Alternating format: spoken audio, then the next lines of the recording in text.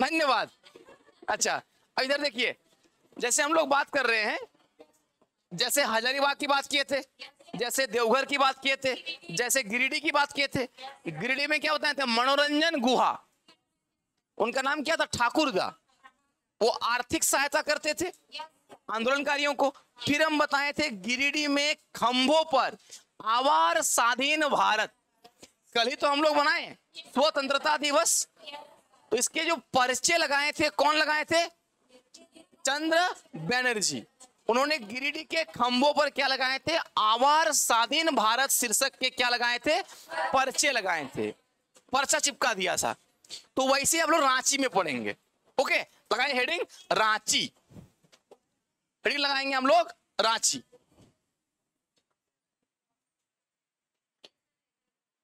हम लोग का मेन हेडिंग क्या था कि बंगाल विभाजन के समय या उस टाइम पीरियड में 1905 से लेकर 1917 जब तक महात्मा गांधी जी नहीं आते, महात्मा गांधी जी का एंट्री नहीं होता है, उस दौरान किस तरह से आंदोलन चल रहा था? तो लिखिए कि बंगाल विभाजन के समय, बंगाल विभाजन के समय गणेश चंद्र घोष ने बंगाल विभाजन के समय गणेश चंद्र घोष, नाम याद रखना है, बहुत इंपॉर्टेंट बंगाल विभाजन के समय क्या नाम याद रखना है? गणेश चंद्र घोष ने रांची में बंगाल विभाजन के समय गणेश चंद्र घोष ने रांची में गणेश चंद्र घोष ने रांची में आंदोलन का नेतृत्व किया था। गणेश चंद्र घोष ने रांची में किसका नेतृत्व किया था? आंदोलन का नेतृत्व किया था। किसका नेतृत्व? आंदोलन का नेतृत्व किया था। याद रहेगा? सही है? हेमेंद्र नाथ घोष का संबंध कहाँ से था? चलो, ठीक है। तो हम लोग क्या लिखे कि गणेश चंद्र घोष ने रांची में आंदोलन का नेतृत्व किया था कब? बंगाल विभाजन के समय। किस समय? बंगाल विभाजन के समय। अगला पॉइंट लिखेंगे। लिखिए कि हावड़ा के हावड़ा के बेलूर मठ, हावड़ा के बेलूर मठ, कलकत्ता में है बेलूर मठ के क्रांतिकारी हावड़ा के बेलूर मठ के क्रांतिकारी। कहाँ के क्रांतिकारी? बेलूर मठ। हावड़ा के बेलूर मठ के क्रांतिकारी। और क्रांतिकारी का नाम क्या है? सचिंद्र नाथ सेन। हावड़ा के बेलूर मठ के क्रांतिकारी, इनका नाम लिखिए। सचिंद्र नाथ सेन हावड़ा के बेलूर मठ के क्रांतिकारी सचिंद्र। सचिंद्र ऐसी होगा ना? सचिंद्र नाथ सेन। हाँ। सेन टाइटल है। हाँ। बंगाली में टाइटल होता है सेन। सचिंद्र नाथ सेन। सचिंद्र नाथ सेन। जैसे हमारा मित्र है अमरनाथ सेन। है ना? तो टाइटल होता है। सचिंद्र नाथ सेन, क्या लिखेंगे हम लोग? रांची के रांची के डोरंडा में। कहाँ पर? डोरंडा। रांची के डोरंडा में लंबे समय तक छिपे हुए थे। रांची के डोरंडा में लंबे समय तक क्या थे? छिपे हुए थे। कौन? सचिंद्र नाथ सेन। कहाँ के थे ये? हावड़ा के बेलूर मठ। के क्रांतिकारी सचिंद्र नाथ सेन। लिखिए। अगला पॉइंट देखिए, लिखिए। हेमंत कुमार बोस। हेमंत कुमार बोस।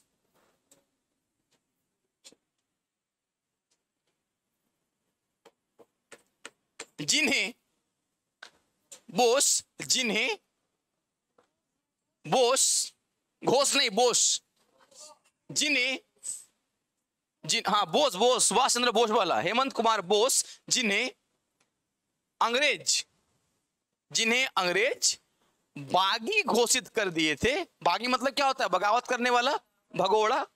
बागी घोषित कर दिए थे। वो स्वयं वो स्वयं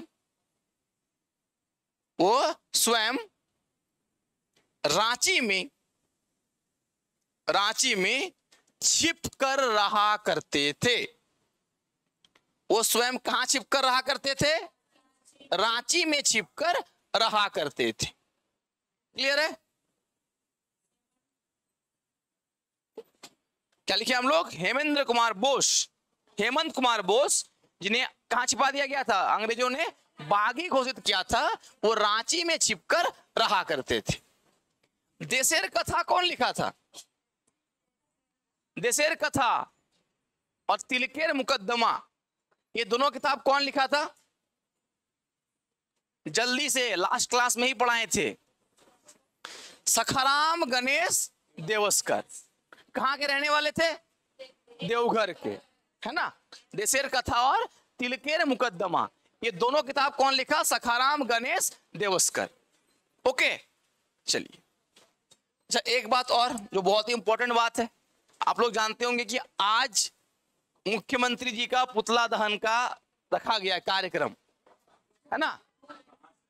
जेएसएससी के विरोध में, जेएसएससी के विरोध में लगातार हर एग्ज़ाम का डेट टालते जा रहा है और अनिश्चितताएँ हैं। टालना एक अलग बात है, पर अनिश्चितताएँ मतलब अभी आपका एडमिट कार्ड आ गया है, फिर भी कोई आके बोलता है, अरे एडमिट कार्ड आ गया तो क्या हुआ? अभी भी दौड़ नहीं होगा। तो कोई ना कोई बोल देता मज़ाक मज़ाक में। तो आपको लगता है हो भी सकता है, नहीं भी हो सकता है? ये डलाइमा क्यों है? क्योंकि भरोसा उठ गया है। जेएसएससी से, गवर्नमेंट से विद्यार्थियों का भरोसा उठ गया है। इसका मेन कारण क्या है? ना जाने कितना बार डेट निकाला, कितना बार बोला, लेकिन एग्ज़ाम ना तो हुआ, ना तो कुछ हो रहा है।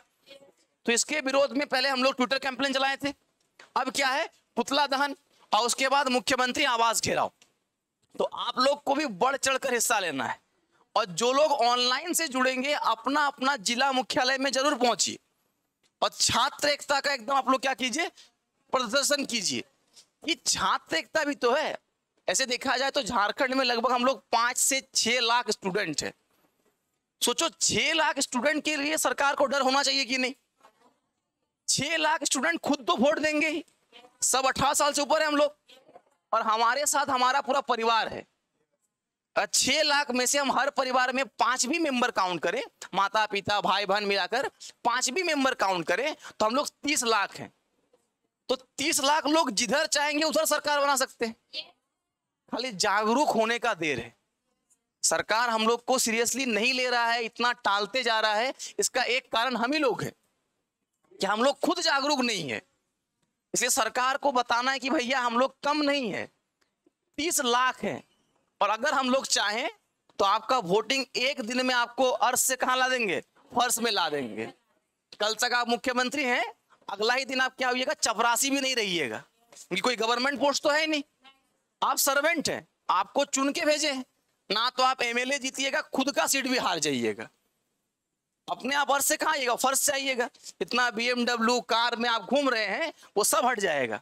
एक ही दिन में हट जाएगा। ना मुख्यमंत्री रहिएगा, ना एमएलए रहिएगा।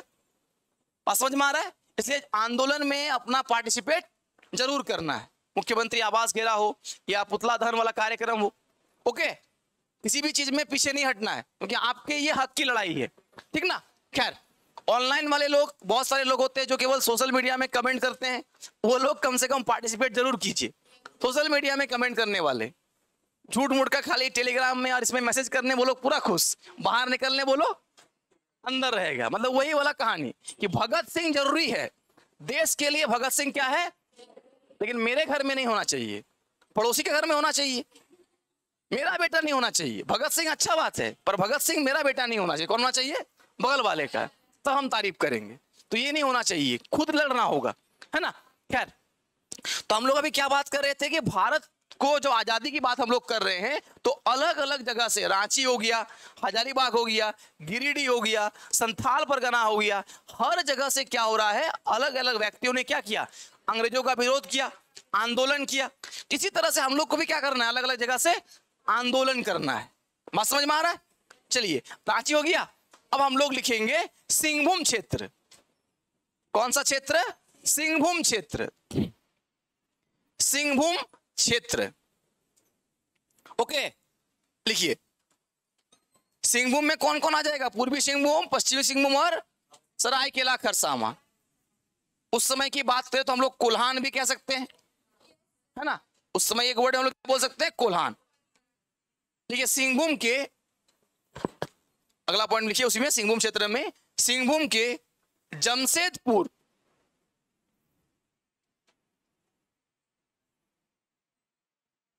सिंहभूम के जमशेदपुर और चाईबासा क्षेत्र में, सिंहभूम के मेनली क्या लिख रहे हैं हम लोग? जमशेदपुर। सिंहभूम के जमशेदपुर और चाईबासा क्षेत्र में, जमशेदपुर और किस क्षेत्र में? चाईबासा क्षेत्र में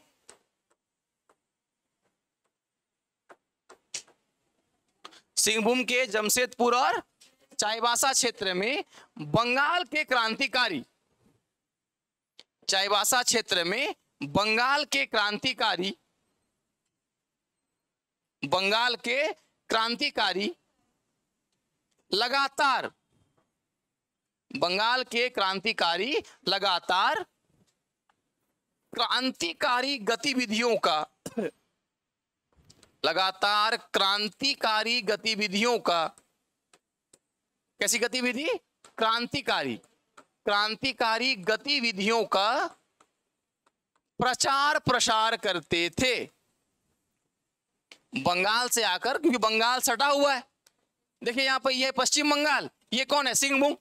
तो यहाँ से यहाँ पहुँच गया। यहाँ मैप में देखिए, ये क्या है? पश्चिम बंगाल का पूरा क्षेत्र है और ये क्या है? सिंहभूम। तो यहाँ से तुरंत एंटर किया।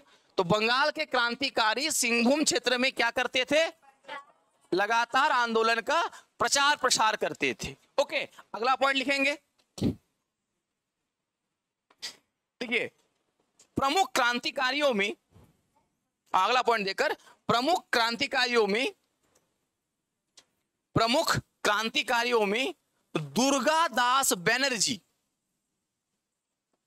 प्रमुख क्रांतिकारियों में दुर्गा दास, बनर्जी एवं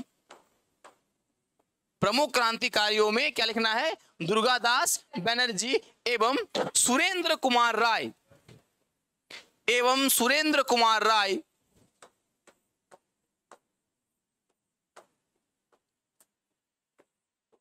दुर्गादास बनर्जी एवं सुरेंद्र कुमार राय। ये सब नाम सुन के रखना, एग्ज़ाम में पूछेगा इनका संबंध किस क्षेत्र से सिंहभूम क्षेत्र से। तो प्रमुख क्रांतिकारी दुर्गादास बनर्जी एवं सुरेंद्र कुमार राय टाटा कंपनी में, जो अभी टाटा स्टील बन गया है, टाटा कंपनी में कार्यरत थे। मतलब ये कंपनी में काम भी करते थे। टाटा कंपनी में कार्यरत थे। कहा कार्य करते थे? टाटा कंपनी में कार्यरत थे। कौन कौन दुर्गादास बैनर्जी और सुरेंद्र कुमार राय। जैसे आंदोलनकारी टाटा कंपनी में क्या करते थे? कार्य करते थे। अगला पॉइंट लिखेंगे। अगला पॉइंट लिखिए जल्दी से। कि गिरीन्द्रनाथ मुखर्जी हाँ गिरीन्द्रनाथ मुखर्जी। गिरीन्द्रनाथ मुखर्जी। एक्चुअली इनके भाई भी थे यहाँ पे। दोनों नाम लिखाएँगे भी आप लोग को। देखिए गिरीन्द्रनाथ मुखर्जी। मुखर्जी। जो टाटा कंपनी के वर्कर थे गिरीन्द्रनाथ मुखर्जी जो टाटा कंपनी के वर्कर थे आ, वर्कर मतलब क्या लिखिएगा कर्मचारी थे हाँ। टाटा कंपनी के कर्मचारी थे। इन्होंने घोषणा की। इन्होंने 1908 में, इन्होंने 1908 में गिरिंद्रनाथ मुखर्जी, जो टाटा कंपनी के कर्मचारी थे, इन्होंने 1908 ईस्वी में बहुत important V V I important point है। गिरिंद्रनाथ मुखर्जी, जो टाटा कंपनी के कर्मचारी थे, इन्होंने 1908 में न्यूयॉर्क से न्यूयॉर्क से यह घोषणा की न्यूयॉर्क से यह घोषणा की न्यूयॉर्क से क्या किए? यह घोषणा किए, इन्होंने न्यूयॉर्क से यह घोषणा की, कौन? गिरिंद्रनाथ मुखर्जी, जो टाटा कंपनी के क्या थे? कर्मचारी थे। इन्होंने न्यूयॉर्क से यह घोषणा की कि, क्या घोषणा किया लिखिए? कि रक्त रंजित क्रांति से ही रक्त रंजित क्रांति से ही भारत को स्वतंत्र कराया जा सकता है। क्या लिख रहे हैं हम लोग? रक्त रंजित रक्त रंजित क्रांति से ही किस क्रांति से? रक्त रंजित क्रांति से ही भारत को भारत को स्वतंत्र किया जा सकता है। या स्वतंत्र कराया जा सकता है? किया जा सकता है या फिर कराया जा सकता है? एक ही बात है। याद रहेगा? बहुत सुपर इंपॉर्टेंट पॉइंट आप लोगों को लिखा रही है वाला। वेरी वेरी इंपॉर्टेंट कि गिरिंद्रनाथ मुखर्जी जो न्यूयॉर्क में टाटा कंपनी के क्या थे? कर्मचारी थे। उन्होंने न्यूयॉर्क से घोषणा किया कि रक्त रंजित क्रांति से ही भारत को क्या मिल सकता है? आज़ादी। क्योंकि हम लोग को क्या चाहिए? आज़ादी। इससे बढ़िया चीज़ दुनिया में कुछ नहीं हो सकता है। कोई भी यहाँ पे सात में हाँ आठ में घोषणा कर रहे हैं, कर्मचारी है ये। बिना कर्मचारी का कोई फॉर्म स्थापना होगा क्या? नहीं होगा ना। क्योंकि कोई भी वर्क चालू करना है तो क्या चाहिए? कर्मचारी तो चाहिए। बस समझ में आया? तो 1908 में इन्होंने न्यूयॉर्क से क्या घोषणा कर दिया कि रक्त रंजित क्रांति से भारत को क्या कह सकता है? स्वतंत्र कराया जा सकता है। आज़ादी दिलाया जा सकता है। कल आप लोग इंडिपेंडेंट डे मनाएँ, केवल मनाना नहीं है, उसको फील भी करना है। आप स्वतंत्र हैं तो हर चीज़ से स्वतंत्र है। लेकिन रूल एंड रेगुलेशन के साथ, अब ऐसा नहीं करना है कि सर तो बोले सात बजे आ जाना है स्वतंत्रता कैसे हुआ? भैया, क्योंकि वो आपके क्या लिए? फ़ायदे ज़रूरी के लिए है कि आपको एक टाइम के बाद हाँ लेकिन अगर ज़रूरत पड़े तो हम आठ बजे भी निकल सके बिना किसी डर के। वो क्या होना चाहिए? आज़ादी होना चाहिए। बात समझ में आया? पढ़ने के लिए आपका टाइम फिक्स कर दिया गया कि इसके बाद बाहर नहीं घूमना है, क्योंकि आपको पढ़ना है। इसी कारण से। लेकिन अगर हमको आठ बजे भी बाहर निकलना पड़े तो हम अपने आप को सेफ़ महसूस करें। यही तो आज़ादी है ना? बिल्कुल आज़ादी यही है। ये दोनों को सीखना है, चाहे लड़के हैं, चाहे लड़कियों। दोनों को पता होना चाहिए कि अगर हम स्वतंत्र हैं तो सामने वाला भी क्या है? स्वतंत्र है। और दोनों अपने मर्यादाओं के साथ चले। डरना नहीं है, क्योंकि आपके पास क्या है? आज़ादी है। तभी तो आज़ादी का महत्व होगा। लेकिन अभी भी कभी कभी आप देख देखिएगा, खुद अपने आसपास को महसूस कीजिएगा कि देश को तो आज़ादी मिल गया है, पर हमारी मानसिकता हो, आज भी कहीं ना कहीं क्या है, बेड़ियों से जकड़ी हुई है। सिंपल सा बात है ना, सात बजे बाद गर्ल्स को बाहर नहीं निकलना है। क्यों नहीं निकलना है भाई? अगर ज़रूरत है तो क्यों नहीं निकलेगा? अगर आज़ादी है तो बराबरी का आज़ादी है ना। सबको साथ चलना है। सिंपल सी बात है। और ये सवाल जब ये टीवी में ऐड आता है, हमको बहुत अच्छा लगता है कि केवल आप गर्ल्स को मत सिखाइए, अपने घर के लड़कों को सिखाइए। अगर वो सीख जाएँगे, क्योंकि वो भी किसी के भाई हैं, जिसके डर से आप अंदर बैठे हुए, वो तो किसी ना किसी के भाई हैं। और वो उसको घर में सिखाया जाए कि भैया, आप घर में रहो। सात बजे के बाद कहाँ घूम रहे हो? क्या काम है बाहर घूमने का? लड़कों से भी सवाल पूछना चाहिए ना। ऑटोमेटिक धीरे धीरे क्या आएगा? आज़ादी आएगा। आगे जाकर आप लोग भी गार्जियन बनिएगा। तो इसको याद रखना है। जब आपके भी बेटे बेटी होंगे होंगे ही। तो उनको ज़रूर पूछेगा भैया, सात बज गया है, अब कहाँ बाहर जाना? घर में रहो तुम भी। बात समझ में आ रहा है? बदलाव तभी हो सकता है। अचानक से बदलाव कभी भी होगा नहीं। हम लोग कब से विद्रोह पढ़ रहे हैं? सत्रह पैंसठ में आया अंग्रेज़।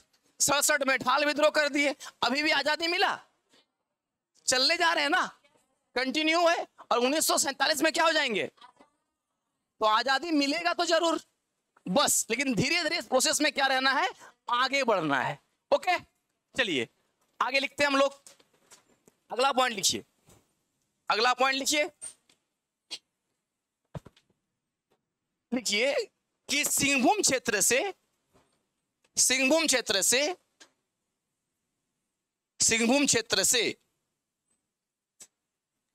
लोगों को सिंहभूम क्षेत्र से लोगों को,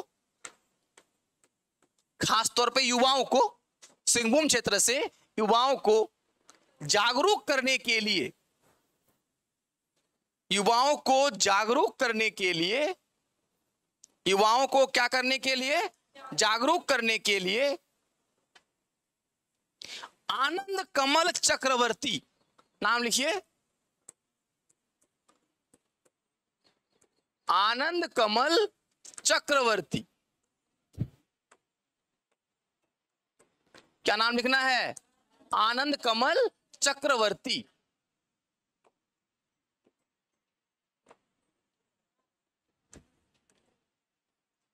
लिख लिए? आनंद कमल चक्रवर्ती चाईबासा से। कहा से? चाईबासा से।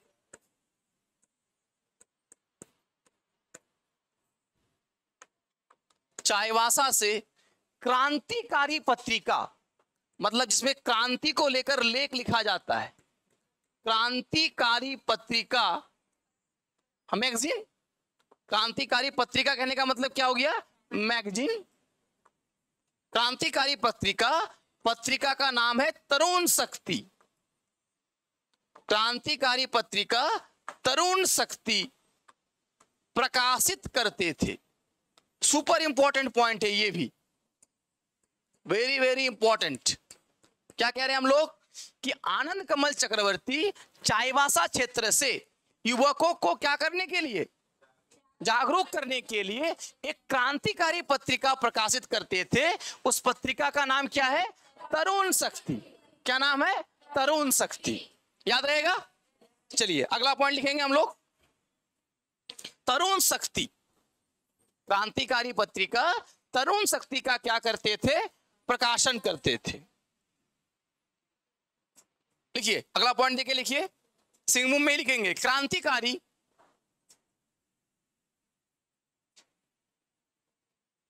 क्रांतिकारी सुधांशु रंजन बैनर्जी। क्रांतिकारी सुधांशु रंजन बैनर्जी।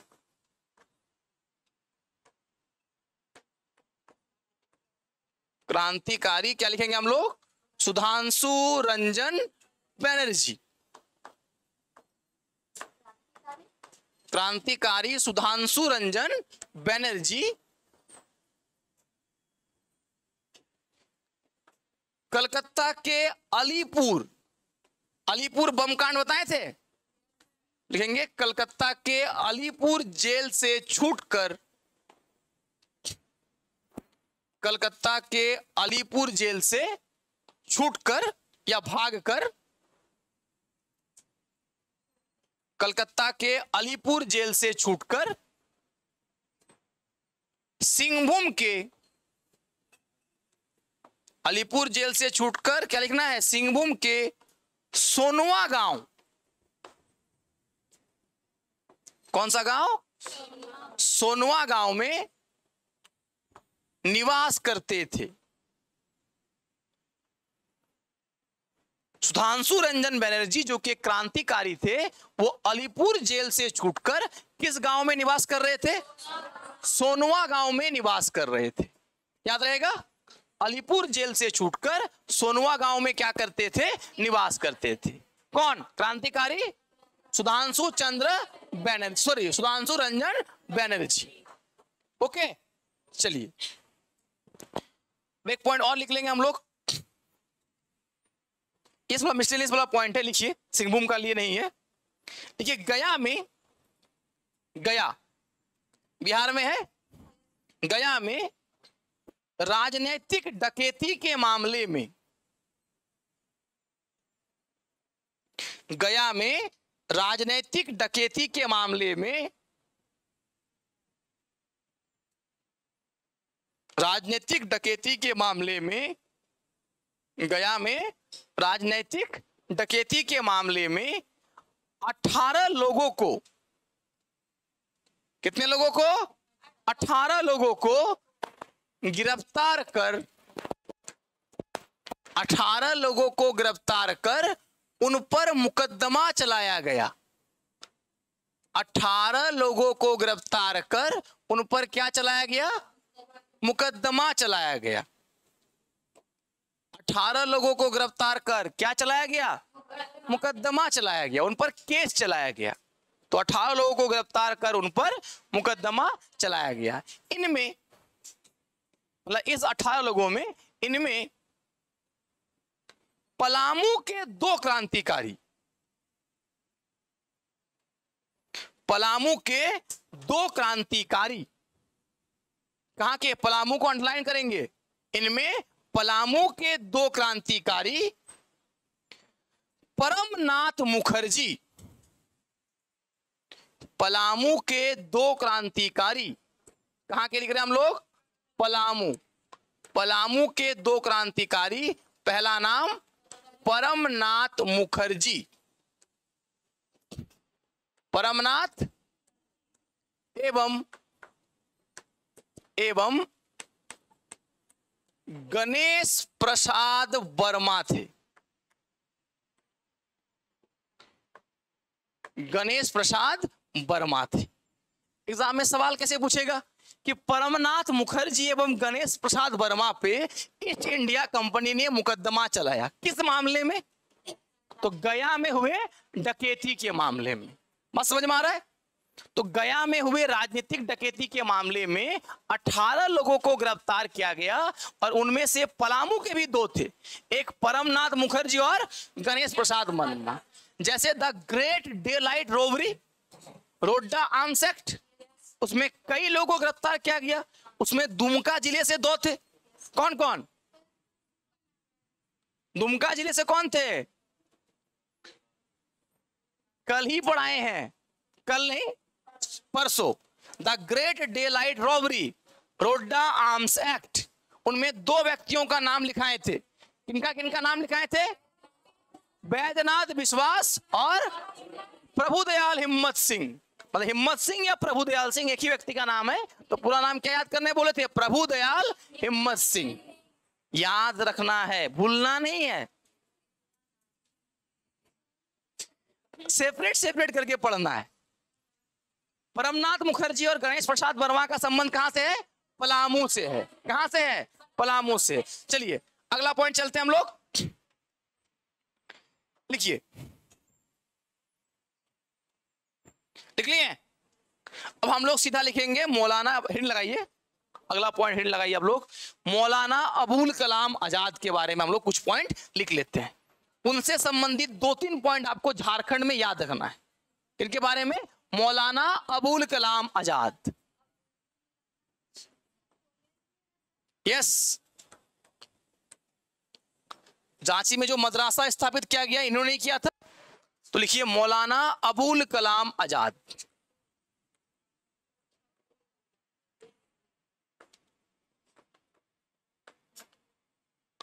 हिस्ट्री में आप लोग इनके बारे में डिटेल्स में पढ़िएगा। हम केवल झारखंड के परिप्रेक्ष्य में जो बातें हैं वो आपको लिखा दे रहे हैं। है ना? मौलाना अबुल कलाम आज़ाद। लिखिए। कि क्रांतिकारी क्रांतिकारी समाचार पत्र, क्रांतिकारी समाचार पत्र अलबेलाग क्रांतिकारी समाचार पत्र अलबेलाग अलबेलाग इनका अपना प्रेस था अलबेलाग प्रेस। जैसे प्रभात खबर, दैनिक जागरण है ना? उसी क्रांतिकारी समाचार पत्र का नाम क्या था? अलबेलाग क्रांतिकारी समाचार पत्र अलबेलाग इसको अंडरलाइन करेंगे। अलबेलाग के प्रकाशन के कारण अलबेलाग के प्रकाशन के कारण अबुल कलाम आज़ाद को प्रकाशन के कारण अबुल कलाम आज़ाद को ब्रिटिश सरकार ने के कारण अबुल कलाम आज़ाद को ब्रिटिश सरकार ने नजरबंद किया था। क्या किया था? नजरबंद किया था। ब्रिटिश सरकार ने नज़र बंद किया था।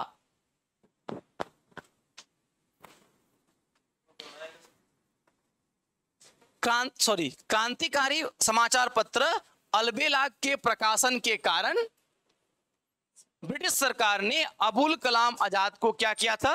नजरबंद किया था। बात समझ में आया? नजरबंद मतलब किसी क्षेत्र में आपको रख देगा और आप पे निगरानी रखा जाएगा। से रोज आके आपको सिग्नेचर करना होगा। मान लीजिए थाना में रिपोर्ट करना होगा। बात समझ में आया? नजरबंद रखा गया। आपको कहा गया किसी पैरामीटर में आपको रहना है और आपको क्या करना है? रोज शाम को आकर एक बार साइन करना है और सुबह आकर एक बार साइन करना है। तो वो नजरबंद कहाँ थे? रांची में नजरबंद थे। जब उनको नजरबंद किया गया तो वो कहा चुना? रांची को चुना। याद रहेगा? तो लिखिए अगला पॉइंट कि इसी दौरान मतलब नजरबंदी के दौरान, नजरबंदी के दौरान, नजरबंदी के दौरान मौलाना अबुल कलाम आज़ाद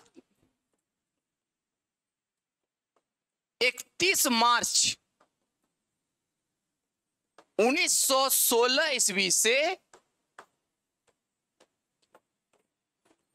31 दिसंबर 31 मार्च 1916 ईस्वी से 31 दिसंबर 1919 ईस्वी तक रांची में नजरबंद रहे। तीन साल का टेन्योर लगभग 31 मार्च 1916 से 31 मार्च 1919 तक। कहा नजरबंद रहे? रांची में नजरबंद रहे।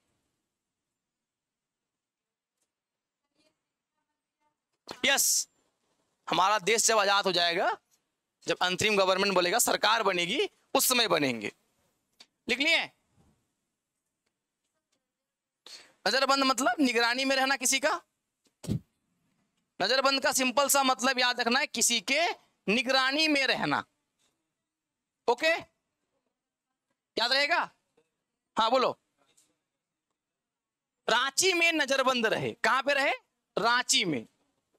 या रांची में इनको नजरबंद रखा गया। अंडरलाइन करेंगे रांची और इस तिथि को। 31 मार्च 1916 से 31 दिसंबर 1919 तक। लेकिन कहा जाता है कि ये 31 मार्च को यहाँ नहीं पहुँचे थे। इनको पहुँचने में कुछ समय लग गया था। 5 अप्रैल को वो रांची आए थे। और हम हाँ 5 अप्रैल। मत लिखिए। ये आप डेट याद रखिए, काफ़ी है। कि इनको सजा हुआ था कि रांची में आपको नजरबंद करके रखा जाएगा कब से कब तक? 31 मार्च से 31 दिसंबर तक। लेकिन भैया, अभी के समय में आपको सब कुछ टाइम पे होता है। 1916 में हर जगह इतना कुछ टाइम पे ज़रूरी नहीं था। ट्रेन वगैरह भी धीरे चला होगा। तो उनको पहुँचने में समय लग गया और कहा जाता है कि वो 31 मार्च को नहीं 5 अप्रैल को क्या हुए थे? रांची पहुँचे थे। बात समझ में आया? अब इनके बारे में दो तीन पॉइंट और लिखिए अगला पॉइंट लिखिए। निकट निवास क्या करते थे? कॉटेज लिया था पीट कॉटेज कहते हैं। मुराबादी के निकट क्या करते थे? निवास करते थे। है ना? कॉटेज मतलब क्या होता है? झोपड़ी टाइप का। तो लोग कहा जाता है कि कहा निवास करते थे? तो मोराबादी के निकट पीट कॉटेज में।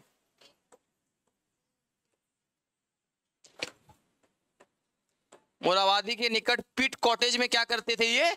निवास करते थे। कौन? मौलाना अबुल कलाम आज़ाद। भले पीट कॉटेज याद रहे चाहे ना रहे, क्या याद रखना है? मोराबादी। जहाँ पे आप लोग रोज सुबह सुबह दौड़ते हैं। मोराबादी स्टेडियम। इसी के आसपास कहीं पर वो पीट कॉटेज में क्या करते थे? निवास करते थे। अगला पॉइंट लिखिए। इनसे जुड़ा हुआ अगला पॉइंट लिख रहे हैं हम लोग। लिखिए। कि इस दौरान इस दौरान अपर बाज़ार अपर बाज़ार अपर बाज़ार स्थित कौन सा मस्जिद है अपर बाज़ार में? इन्हीं के नाम पे बाद में कर दिया गया सर जामा मस्जिद ना? अपर बाज़ार स्थित, अपर बाज़ार स्थित मस्जिद में, अपर बाज़ार स्थित मस्जिद में, अपर बाज़ार स्थित मस्जिद में अबुल कलाम आज़ाद, अपर बाज़ार स्थित मतलब अपर बाज़ार में जो है, अपर बाज़ार स्थित मस्जिद में अबुल कलाम आज़ाद, अबुल कलाम आज़ाद नमाज़ अदा किया करते थे? क्या अदा करते थे? नमाज़ अदा किया करते थे? बस समझ में आया? नमाज़ अदा क्या करते थे? देख लिए अपर बाज़ार स्थित स्थित मस्जिद में ये क्या करते थे? नमाज़ अदा करते थे। हाँ, इनके नाम पे कॉलेज भी है। बहुत कुछ बाद में बनाया गया। चलिए अगला पॉइंट लिखिए। कि इन्होंने इन्होंने रांची में इन्होंने रांची में इन्होंने रांची में 1917 में 1917 में इन्होंने 1917 में सॉरी इन्होंने रांची में 1917 में अंजुमन इस्लामिया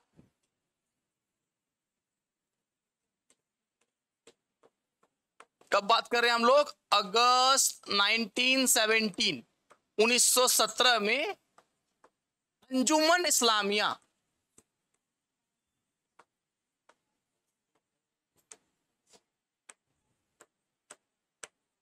अंजुमन इस्लामिया एवं मदरसा मदरसा इस्लामिया, अंजुमन इस्लामिया एवं मदरसा इस्लामिया की, मदरसा इस्लामिया की स्थापना की। अंजुमन इस्लामिया एवं मदरसा इस्लामिया की क्या किया? स्थापना की। किसने स्थापना किया? अबुल कलाम आज़ाद ने। याद रहेगा?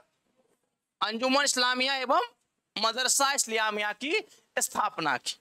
कब स्थापना की? अगस्त 1917 में। लोग कहते हैं कि इसको स्थापना करने के लिए उनको अपना अलबे लाग प्रेस को क्या करना पड़ा था? बेचना पड़ा था। पैसा चाहिए ना भाई? ये तो नजरबंद है। कुछ कमा नहीं रहे हैं। तो इस दोनों की स्थापना करने के लिए इन्होंने अपना अलबेलाग प्रेस को क्या कर दिया था? बेच दिया था। अलबेलाग। अलबेलाग प्रेस को क्या करना पड़ा था? बेचना पड़ा था। तो अलबेलाग प्रेस को बेचकर जो पैसा मिला, उसी दिन इन्होंने क्या किया? अंजुमन इस्लामिया और मदरसा इस्लामिया की क्या की? स्थापना की। कब किया? अगस्त 1917 को किसने किया? अबुल कलाम आज़ाद ने। अगला पॉइंट लिखिए।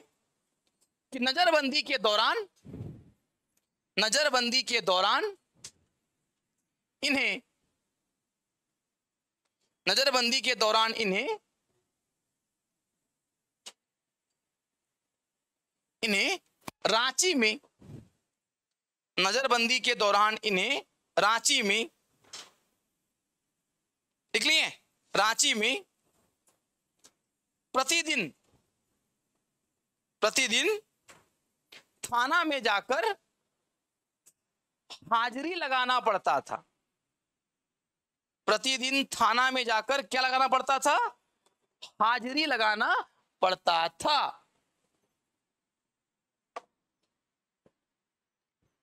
हाजिरी लगाना पड़ता था। एक और घटना हुआ था। उधर तुर्की हार जाता है तो ब्रिटिश इंडिया क्या मनाता है? जश्न मनाता है।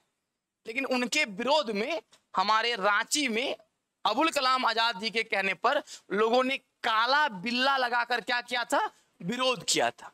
तो एक पॉइंट नोट करके लिख लीजिए। नोट डाल के लिखिए। पूरा कहानी आप लोगों को लिखना नहीं है नोट डाल के लिखिए। कि अबुल कलाम आज़ाद के कहने पर, अबुल कलाम आज़ाद के कहने पर रांची वासियों ने रांची वासियों ने काला बिल्ला लगाकर, क्या लगाकर? काला बिल्ला। बिल्ली जानते होंगे आप लोग? लोगों ने काला बिल्ला लगाकर अंग्रेज़ों का विरोध किया था।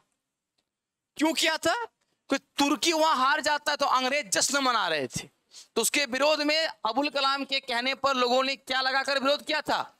काला बिल्ला लगाकर।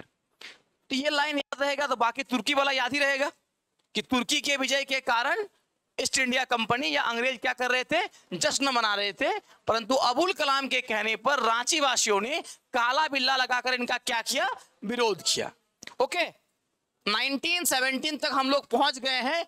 अब हम लोग के हीरो का एंट्री होगा इसमें। किनका? महात्मा गांधी जी का, है ना? अब किसका एंट्री होगा? महात्मा गांधी जी का। अब हम लोग देखेंगे कि पूरा का पूरा आंदोलन अब महात्मा गांधी के नेतृत्व में ही चलेगा। असहयोग आंदोलन, सविनय अवज्ञा आंदोलन, चंपारण सत्याग्रह, जितने सारे गतिविधि चलेंगे, किनके अब नेतृत्व में चलेगा? महात्मा गांधी। हम लोग जो मेन मेन पॉइंट होगा, महात्मा गांधी संबंधित, जहाँ से सवाल पूछे जाते हैं, वो केवल लिखेंगे। पूरा कहानी लिखेंगे तो बहुत लंबा चला जाएगा। ओके? चलिए आज के लिए इतना ही। धन्यवाद। नेक्स्ट क्लास में मिलते हैं।